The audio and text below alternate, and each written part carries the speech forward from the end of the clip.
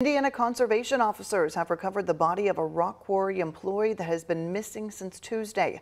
The employee was driving a dump truck when it slipped off the edge, dropping several hundred feet into the water.